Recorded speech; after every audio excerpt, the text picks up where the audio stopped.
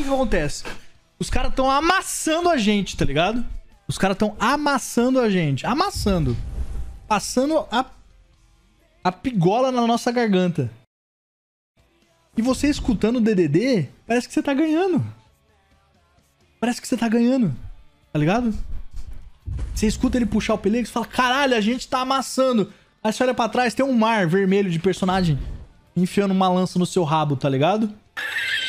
Mas mentalmente você tá ganhando, tá ligado? É muito bom, cara. É muito bom. É muito bom.